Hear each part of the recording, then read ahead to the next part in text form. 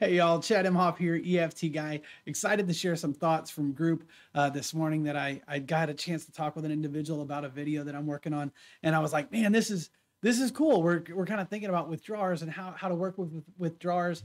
I, I shot a video yesterday that probably is going to be used on SV, and I'm like, man, this is this is some nuanced stuff. We're really going to break it down on SV, but I want to think about it with y'all just quickly as a supervision kind of quick hitter uh, here. But working with withdrawers, what are the big things that I need to be thinking about? And the first thing that comes to my mind is really my pace. I need to make sure that I slow down my pace with a withdrawer. I'm not going to keep the energy and the speed going. I'm really going to slow it down, but but not just a slower pace. My pace also needs to be extremely focused. It has a target. It's emotion, right? It's what they're feeling. So as soon as I start to get uh, or their experience, if you want to use it with that that word with a withdrawer, they tend to like that a little bit more uh, as soon as I get that experience online, a lot of times I'm like, okay, let's sit in that. Let's give them some tolerance for it. Give it permission. Let it bubble up, so to speak. Which brings me kind of to my my next point. If I do something really uh, good, if I withdraw it really bubbles up, it shows me some new things as I've kind of held this space with them. I'm going to tell them they're getting that right. I'm going to say, this is, exa- is exactly the thing I was looking for. You're doing a great job here.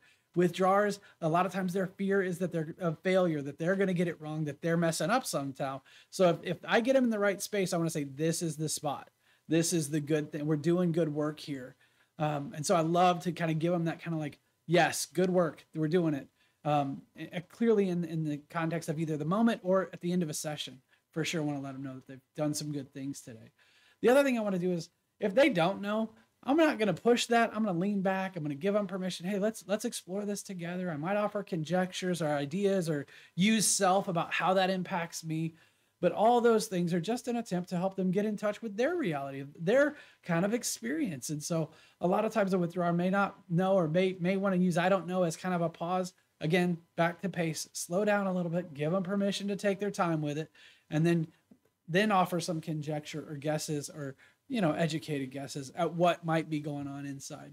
Um, then the last thing is at the end of a session i often have a withdrawer uh, at question why how does this help?